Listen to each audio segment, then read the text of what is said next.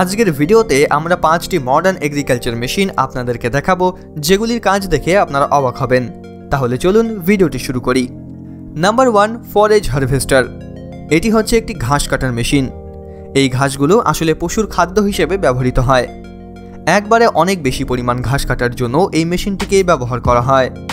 মেশিনটি একবারে ঘাস কেটে প্রসেস করে পেছনের কন্টেনারে ফেলে দেয়। এরপর এই ঘাস ভর্তি কন্টেনারগুলিকে সোজা মার্কেটে নিয়ে যাওয়া হয় বিক্রি করার জন্য।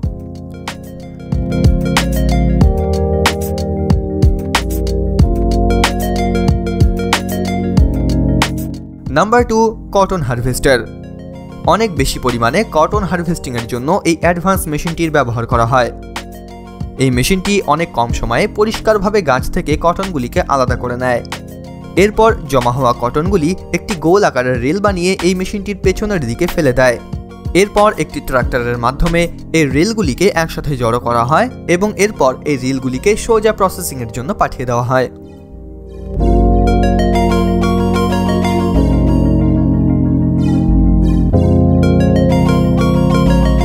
Number three, bale wrapping.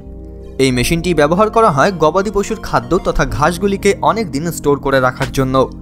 এই মেশিনটি জড়ো করে রাখা ঘাসগুলিকে প্লাস্টিক দিয়ে ভালো করে পেঁচিয়ে রোল করে রেখে দেয়। এর ফলে সূর্যের তাপ এবং বৃষ্টি থেকে গবাদি পশুর খাদ্যগুলি সুরক্ষিত থাকে এবং প্রয়োজনের সময় এগুলিকে খুলে গবাদি পশুর খাবার দেওয়া হয়।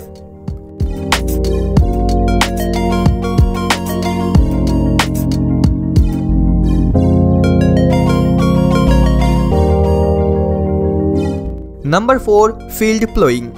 নতুন ফসল লাগানোর আগে জমিকে ভালো করে খুঁড়তে হয়।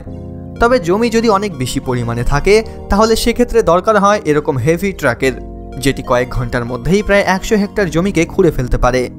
এই যে ট্রাক্টরটি আপনারা দেখতে পাচ্ছেন, এই ট্রাক্টরটি দশটি ছোট ছোট ট্রাক্টরের সমান জমি একবারে খুঁড়ে ফেলতে পারে। এই দানবীয় ট্রাক্টরটির নাম হচ্ছে big bird tractor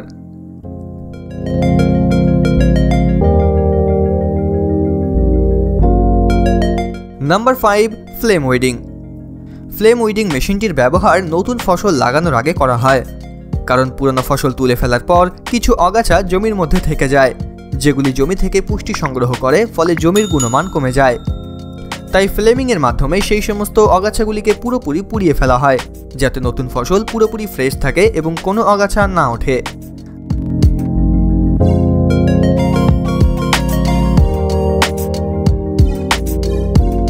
তাহলে বন্ধুরা, এই পাঁচটি মডার্ন এগ্রিকালচার মেশিনের মধ্যে আপনার কোন মেশিনটি সব থেকে বেশি ভালো লাগল সেটি নিচে কমেন্ট করে জানান। আর ভিডিওটি ভালো লাগলে একটি লাইক করে নেবেন এবং চ্যানেলে প্রথমবারের জন্য এসে থাকলে অবশ্যই সাবস্ক্রাইব করে নেবেন। ধন্যবাদ।